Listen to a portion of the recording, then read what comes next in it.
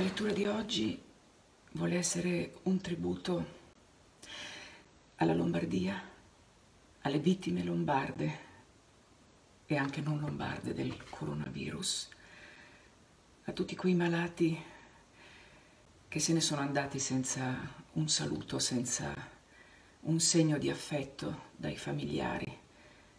E allora ho pensato, io che sono lombarda, di leggere un brano dai Promessi Sposi di Alessandro Manzoni.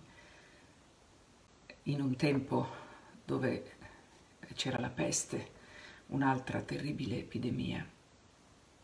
il pezzo è La madre di Cecilia.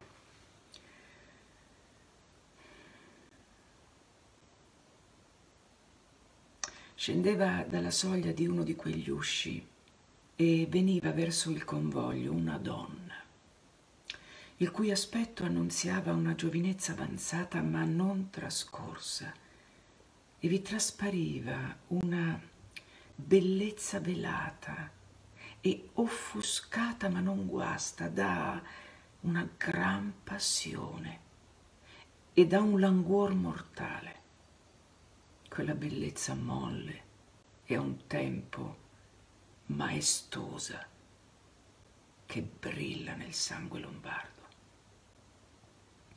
La sua andatura era affaticata, ma non cascante. Gli occhi non davano lacrime, ma portavano segno d'averne sparse tante. C'era in quel dolore un non so che di pacato e di profondo che attestava un'anima tutta consapevole e presente a sentirlo.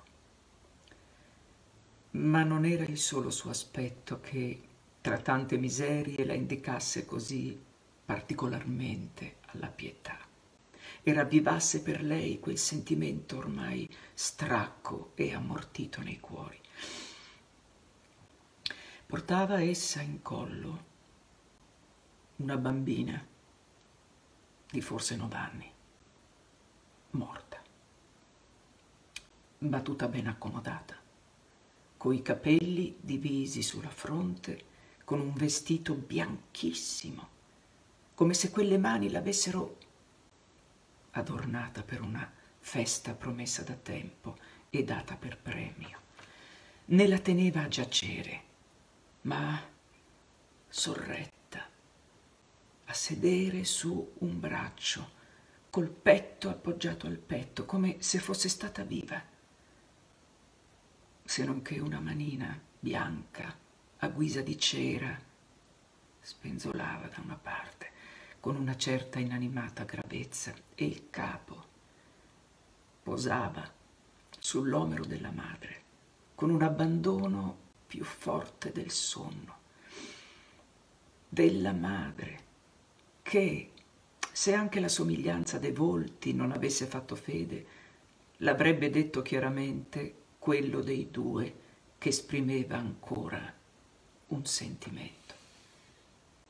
Un turpe monatto andò per levarle la bambina dalle braccia con una specie però di insolito rispetto, con un esitazione involontaria.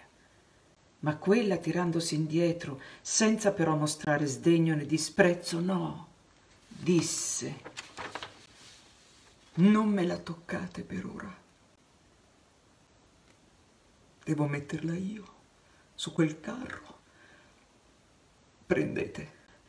Così dicendo aprì una mano, fece vedere una borsa e la lasciò cadere in quella che il monatto le tese. Poi continuò. Promettetemi di non levarle un filo d'intorno, né di lasciar che altri ardisca di farlo e di metterla sottoterra, così.